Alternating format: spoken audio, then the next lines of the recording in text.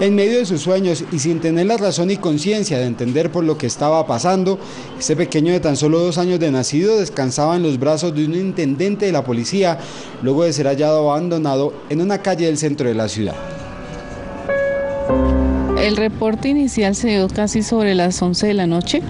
Eh, indican que hay un menor en la calle abandonado, eh, sin ropa, casi que escasamente con un pañal y una camiseta hasta una calle del barrio Eduardo Santos, en la carrera 21 con calle Quinta, en donde los habitantes intentaban auxiliar al pequeño, llegó la patrulla del CAI Santa Isabel.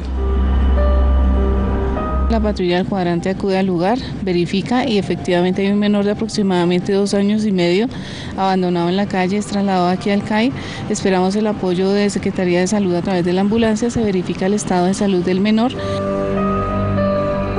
Los uniformados que conocieron esta lamentable situación por la que estaba atravesando el pequeño decidieron buscar entre los vecinos del lugar a los supuestos padres del niño.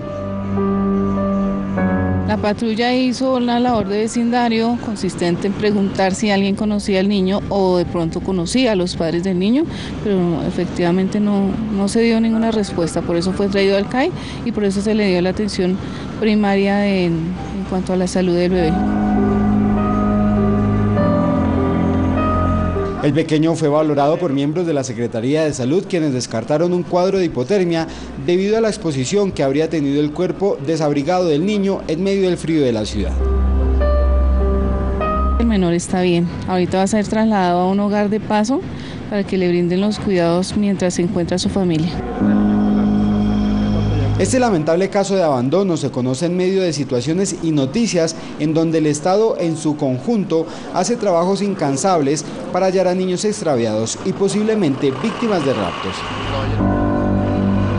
El niño estaba abandonado en la calle, entonces este es un momento para indicar a los padres de familia el cuidado que deben tener con, con los menores de edad. Nosotros estamos haciendo como Policía Nacional un esfuerzo grande en búsqueda de otros niños que se han perdido, no solamente en Bogotá, sino en las afueras de Bogotá, y hay personas, hay padres tan irresponsables que no cuidan de sus hijos.